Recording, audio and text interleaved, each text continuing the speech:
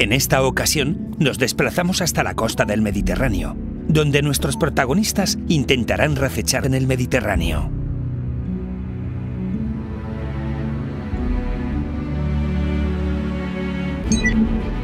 Jueves 17, a las 20.30. Recechos en el Mediterráneo.